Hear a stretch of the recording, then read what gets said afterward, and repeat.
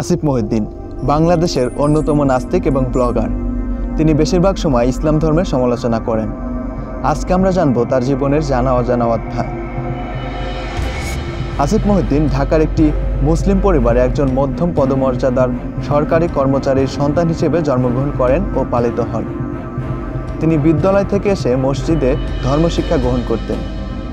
সেই ব্যাপারে তিনি বলেন আমি অনেক হাস্যকর বিষয় শিখেছি। যেমন, আমি স্বর্গে কুমারী লাভ করব বা চিরকালের জন্য নরকে চূড়ান্ত শাস্তি ভোগ করব। তার পিতামাতার দুঃখের জন্য তিনি তাকে শেখানো ধর্মীয় রীতি নিয়ে বারবার প্রশ্ন উত্থাপন করতে থাকেন। তার এই গুরুতর প্রশ্নগুলো এবং শিক্ষকদের প্রশ্নের ভিত্তিহীন উত্তরের জন্য তাকে প্রায়ই অনেক মার খেতে হয়েছে। তেরো বছর বয়সে তিনি নিজেকে একজন নাস্তিক বলে ঘোষণা করেছিলেন।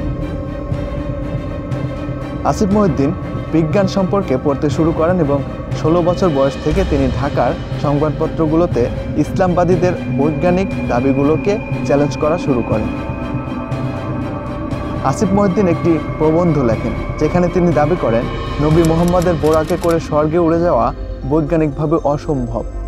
এটি এবং ঢাকার বাংলা সংবাদপত্রগুলোতে তার অন্যান্য সমালোচনামূলক প্রবন্ধের কারণে ধর্মীয় সমালোচক হিসেবে তিনি পরিচিত হয়ে ওঠেন। মহাবিদ্যালয়ে প্রবেশ করে তিনি নিজেকে পুলিশ সহিংসতা, নারী অধিকার এবং উন্নতর গণতন্ত্রের জন্য রাজনীতিতে যুক্ত হতে শুরু করেন। দু হাজার ছয় সালে তিনি ব্লগিং শুরু করেন। দু হাজার আট সালে তিনি কম্পিউটার বিজ্ঞানে ডিগ্রি অর্জন করেন।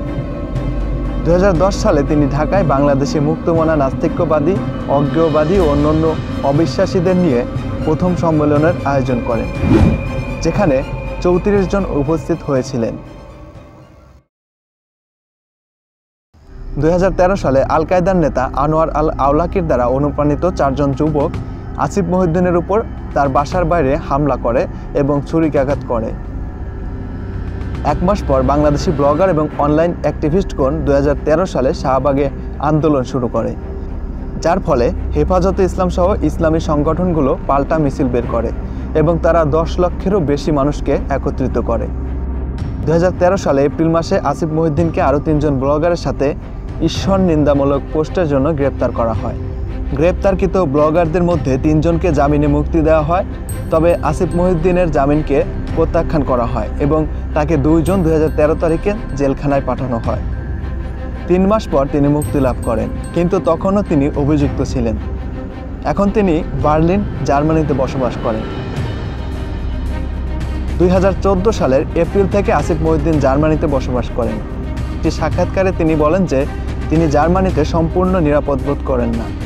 মাত্র কয়েকদিন আগে কোনো একজন জার্মানিতে গিয়ে তাকে হত্যা করার ডাক দিয়ে ফেসবুকে পোস্ট করেন। এমনকি জার্মানিতে বসবাসকারী কিছু মুসলমান বা মুসলমান সংখ্যাগরিষ্ঠ দেশ থেকে জার্মানিতে আসা অধিবাসীদের কাছেও তার দৃষ্টিভঙ্গি কঠোরভাবে প্রত্যাখ্যান হয়েছে। এক বছরের বৃত্তি পাওয়ার পর আসিফ মহিউদ্দিন পরিকল্পনা অনুসারে বাংলাদেশে প্রত্যাবর্তন না করে জার্মানিতে থাকার সিদ্ধান্ত গ্রহণ করেন। আসিফ মহিউদ্দিন কানিস ফাতিমা নামে এক সমমনা নাস্তিক নারীকে বিয়ে করেন। তাদের একটি ছেলে সন্তান রয়েছে।